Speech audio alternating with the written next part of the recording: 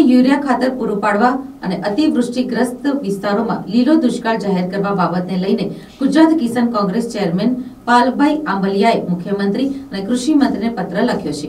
આ અંગે ગુજરાત કિસાન કોંગ્રેસ ચેરમેને વધુ માહિતી આપી હતી. રાજ્યના મુખ્યમંત્રી અને કૃષિ મંત્રીને આજે પત્ર લખીને માંગ કરી છે કે કૃષિ મંત્રી પહેલા તો નિવેદન આપે, એની પહેલા અભ્યાસ કરી લે. ત્રણ દિવસ પહેલા કૃષિ મંત્રી કહે છે કે રાજ્યમાં યુરિયાનો પૂરતો જથ્થો છે. ત્યારે સવાલ એ છે કે આ જથ્થો ગયો તો ગયો ક્યાં?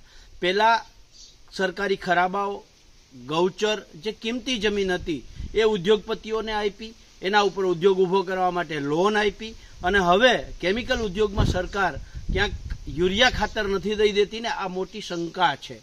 એવી જ રીતે જે બિપોરજોય વાવાઝોડાના કારણે ખેડૂતોને નુકસાન થયું છે અતિવૃષ્ટિ જે થઈ છે, એ ખેડૂતોને નુકસાન થયું છે. જે માલધારી ભાઈઓના પશુ તણાઈ ગયા છે, આ તમામ બાબતોને લઈ અને પત્ર લખીને માંગ કરી છે કે ખેડૂતોને તાત્કાલિક યુરિયા ખાતર આપવામાં આવે. જે અતિવૃષ્ટિની અંદર પશુઓ તણાઈ ગયા છે, એમનું પોસ્ટમોર્ટમ માંગ્યા વગર, પીએમ રિપોર્ટ માંગ્યા વગર, એ પશુપાલકોને સરકાર સહાય કરે. લીલો દુષ્કાળ જાહેર કરવામાં આવે.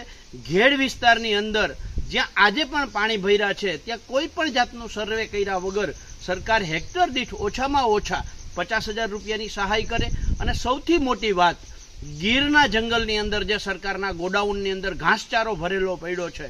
આ સૂકો ઘાસચારો અત્યારે માલધારીઓને અને પશુપાલકોને ને ખેડૂતોને તાત્કાલિક આપવામાં આવે તેવી માંગ સાથે ગુજરાત કિસાન કોંગ્રેસના ચેરમેન તરીકે આજે કૃષિ મંત્રી અને મુખ્યમંત્રીશ્રીને પત્ર લખીને માંગ કરી છે.